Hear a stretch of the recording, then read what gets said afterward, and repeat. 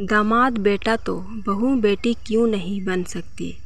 दोस्तों, यह कहानी एक मध्यम वर्गीय परिवार में रहने वाली आरती की, जिन्हें मायके को भूलकर ससुराल वालों को ही अपना घर बना लिया था। लेकिन ससुराल वाले उसे अपने परिवार का सदस्य मानने को तैयार ही नहीं थे। उनके लिए तो घर के हर महत्वपूर्ण फैसले में बेटी और दामाद की सलाह महत्वपूर्ण थी। घर के हर छोटे से छोटे फैसलों में उसकी रैली जाती थी। दामाद को बेटों से बढ़कर मान दिया जाता था, लेकिन इस घर में आरती भी बहू थी। फिर आरती बेटी क्यों नहीं बन सकी? तो लिए पढ़ते हैं। यह खूबसूरत सी कहानी। दामाद बेटा तो बहू बेटी क्यों नहीं बन सकती? अगले महीने आरती के देवर अरविंद की शादी थी। घर में सब शादी की तैयारी में लगे हुए थे, क्योंकि परिवार की आखिरी शादी थी। इसलिए सब लोग चाहते थे कि इस शादी को बहुत ही धूमधाम से किया जाए।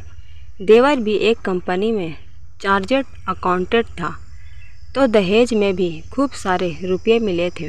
इसलिए आरती की सास ससुर दिल खोल कर खर्च कर रहे थे।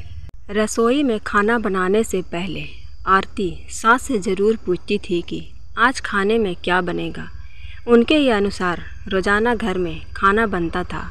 आज सुबह भी आरती अपनी सास के कमरे में पूछने के लिए गई कि आज खाने में क्या बनेगा। आरती की सास सुधा जी ने कहा, बहू, आज खाना दो आदमियों के लिए एक्स्ट्रा बनाना, क्योंकि दोपहर में तुम्हारी ननद और उनके पति नरेश जी आ रहे हैं। अब बेटी की शादी में दिन ही कितने रह गए हैं। हम लोग सोच रहे हैं कि आज शाम को बाज़ार चलकर होने वाली बहू के सारे गहने आज ही खरीद ले। आरती की मम्मी कहकर वहाँ से किचन की तरफ़ चली गई। आरती सब्ज़ी काटते हुए अपने मन में यही सोच रही थी, जैसे नरेश जी इस घर के दामाद हैं, वैसे ही मैं भी तो इस घर की बहू हूँ, लेकिन मेरी शादी की भी आज पाँच साल हो गए। लेकिन इस घर के किसी भी मामले में मेरी सलाह नहीं ली जाती है। बल्कि मुझे सिर्फ़ बता दिया जाता है कि ऐसा हो गया। वही नरेश जी ने ऐसी सलाह ली जाती है, जैसे वह घर के दामाद नहीं, बल्कि वही इस घर के मालिक हैं। उन्हीं के पैसे से यह घर चलता है। इस घर में एक छोटा सा भी काम करना हो, जैसे कि अगर दिवाली में घर में पुताई भी करना हो तो यह पूछा जाता है कि कौन सा कलर इस्तेमाल किया जाए। मेरी इसी घर में अहमियत भी क्या है? ऐसा लगता है कि मैं इस घर की बहू नहीं, सिर्फ़ नौकरानी बनकर रह गई हूँ। सबकी इच्छाओं के ख्याल रखना, सबके मन पसंद का खाना बनाना, यही मेरा दिनचर्या हो गया मुझे तो मम्मी जी ने एक बार भी नहीं कहा कि, बहू, तुम भी साथ चल लेना। मेरी सासू माँ दामाद जी के आगे तो मेरे पति नरेश जी का भी कोई वैल्यू नहीं करती थी और नरेश जी को भी इस बात से कभी प्रॉब्लम नहीं था। वह तो अपने माँ पिता के इतने आज्ञाकारी पुत्र हैं कि उन्हें यही गलत समझ ही नहीं आता। अब अपना ही खोटा सिक्का हो तो किससे शिकायत किया जाए? कई बार अपने ससुराल वालों का इस तरह से पराई जैसा व्यवहार देखकर आरती का मन बहुत दुखी हो जाता था, क्योंकि उसे अपने ससुराल को अपने मायके से भी ज़्यादा तवज्जो देती ही कई बार उसकी माँ कहती थी कि, बेटी दस पंद्रह दिन के लिए मायके आ जा लेकिन यही सोचकर मायके सिर्फ़ एक दो दिन के लिए जाती थी कि ससुराल में उसके ससुर का ख्याल कौन रखेगा? उनके पति के लिए नाश्ता और लंच कौन बनाएगा? दोपहर होते ही घर के बाहर कार की हॉर्न सुनते आरती ने खिड़की से नीचे देखा तो ननद और नंदोसी ही थे। उसने जाकर दरवाज़ा खोल आरती ननद उनके पति से दस साल बड़ी थी, इसलिए अपनी ननद और जीजा जी को पैर छूकर प्रणाम किया। लेकिन उसकी ननद ने इस तरह से व्यवहार किया जैसे आरती उसकी भाभी ना होकर। इस घर की नौकरानी हो उसने आरती की हाल चाल भी नहीं पूछी और सीधे अपने माँ के कमरे में चली गई। लेकिन नरेश जी ने आरती का हाल चाल पूछा और बाहर ही सोफे पर बैठ गए। थोड़ी देर में आरती ने उन्हें पानी और चाय पिलाया। थोड़ी देर बाद दरवाजे की बेल बजी। आरती ने सोचा, अब कौन आ गया? उसने दरवाज़ा खोला तो देखा कि उसका पति दरवाजे पर खड़ा है। आरती ने आश्चर्य से पूछा, अरे आप, इतने समय क्या? कोई ख़ास बात है? क्या नरेश ने बताया? अरे तुम्हें पता नहीं क्या? आज छोटे भाई के होने वाली पत्नी की ज्वेलरी खरीदने बाज़ार जाना है। माँ ने तो सुबह ही मुझे कहा था लंच बाद आने के लिए मैं तुम्हें कहना ही भूल गया था। चलो तुम भी जल्दी से तैयार हो जाओ। लंच करने के बाद ही घर से निकल जाएँगे। नरेश भी घर में आकर अपनी दीदी और जीजा को नमस्ते किया। कुछ देर बाद सबने मिलकर एक साथ ही लंच किया। लंच करने के बाद सभी लोग मार्केट जाने के लिए तैयार हो जाते हैं।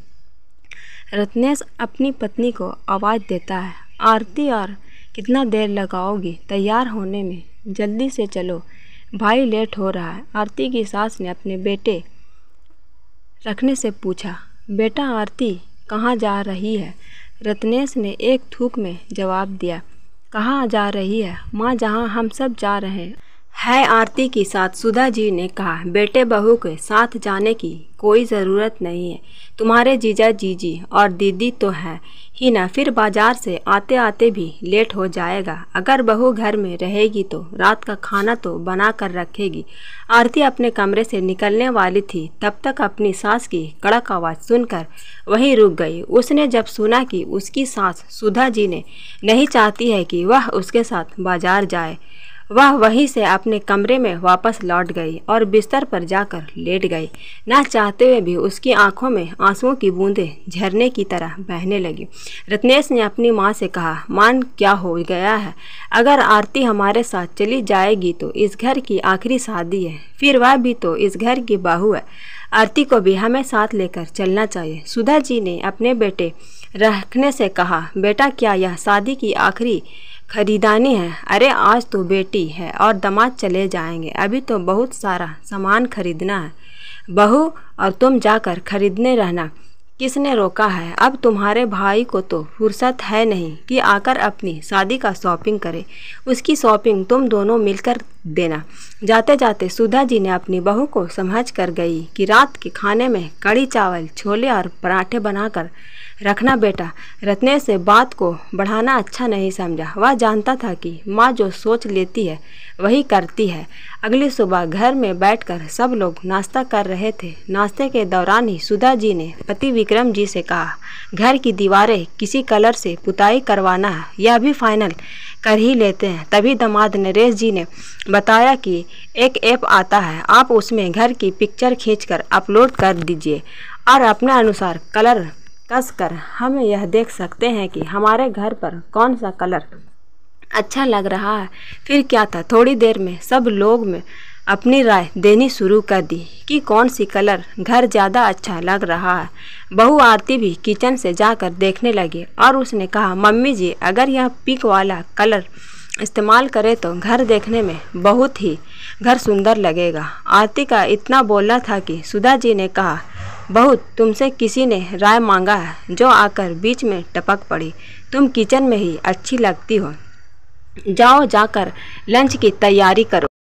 इस बार आरती को नहीं रहा गया। मम्मी जी, मैं भी इस घर की सदस्य हूँ। मेरा भी हक है घर के सही या गलत फैसलों में अपनी राय देना। मैं कुछ नहीं बोलता हूँ। इसका मतलब यह नहीं है कि कोई भी मुझे कुछ भी बोल दे। मैं आपको माँ जैसी समझ कर माँ देती हूँ। लेकिन आपको लगता है कि अपने अपने बेटे के लिए बहू नहीं, बल्कि एक नौकरानी लेकर आई है। मैंने तो शादी के बाद अपने ससुराल को ही अपना घर मान लिया, लेकिन आप सबको जब भी मौका मिलता है, मुझे पर्यापन का एहसास करा दिया जाता है। मैं इस घर में सिर्फ़ घर के काम करने और खाना बनाने के लिए नहीं हूँ। अगर आपको यही सब करना था तो आपको अपने बेटे के लिए बहू नहीं, बल्कि एक नौकरानी ही ढूंढना चाहिए था। घर के किसी भी काम के लिए बहू याद आती है, लेकिन साला मशवरा करने के लिए बेटी दमाद याद आते हैं।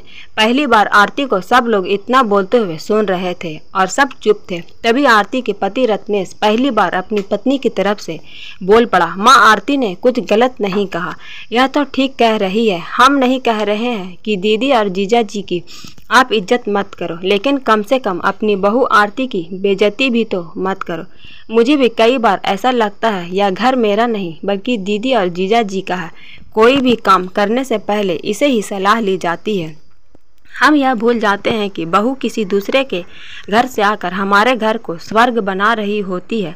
हमारे घर के लिए उसने अपना सब कुछ निछावर कर दिया होता है, लेकिन बहू की त्याग को कोई नहीं समझता। इतने में रत्नेश की दीदी बोल पड़ी, माँ, तुम क्या हमें इस घर में बेजती करने के लिए बुलाई थी?